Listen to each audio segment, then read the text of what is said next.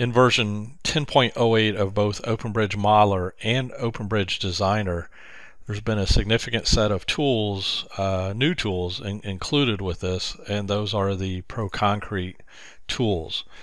Uh, we have all of the bar placement tools here uh, that are also included in ProConcrete at no cost to you, a current user of either OpenBridge Modeler or OpenBridge Designer. So all the all the bar placement tools, whether they're uh, for the simple solid shapes, uh, the single uh, rebar sets and rebar distributions, irregular dispatch, the face-based modeling, every single bar placement tool is here and available for you to use. We can also perform uh, what is called positioning, where we go through the process of numbering and marking all the bars and also manually uh, or overriding the manual uh, bar marks with, with some other bar mark on those bars. And then we can also do some rebar modification uh, as well. Now, in addition to that, not only have we included all of these uh, tools from the ProConcrete software, we have also added the ability that if you have designed uh, reinforcing in LeapBridge concrete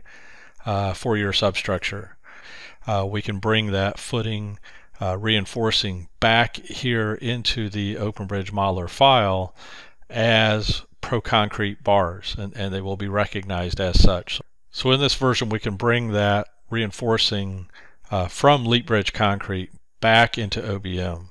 And to do that, uh, we use the uh, LeapBridge Concrete tool uh, update option, and we tell it to go ahead and import and update all of the uh, reinforcing in the model. We'll go ahead and select OK, and what that will do is we'll go ahead and take the bars as designed in uh, LeapBridge Concrete and bring those back to uh, the uh, the uh, OBM model here. And we can see that the bars have been added to the model here. Uh, we can go in and um, go to, let's say, a wireframe mode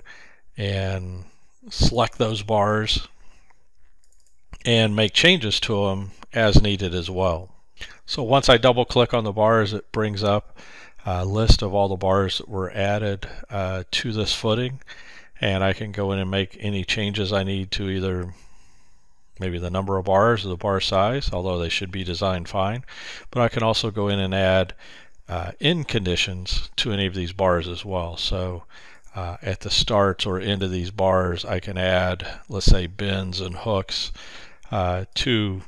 any of those and uh, have those represented here uh, immediately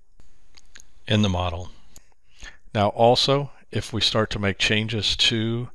uh, the model if I move, um, let's say the entire pier, or if I just come in here and I uh, select this pier and I change the size of the footing uh, by going into my uh, substructure tools here and telling it that I want to edit this substructure template. And what I can do is I can come here to the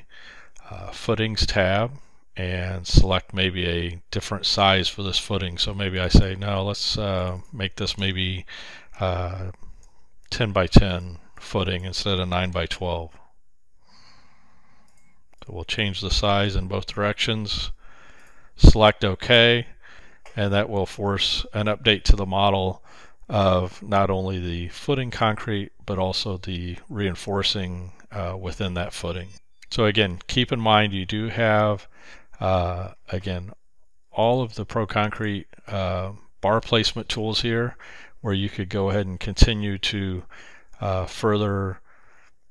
detail uh, the rest of this pier very quickly by using the column and beam reinforcing tools here to add reinforcing to the column and cap and uh, and then go ahead and do the positioning process and have it identify all those bar shapes and uh, compute for you the lengths of all the bars and, and the weight of all those bars as well.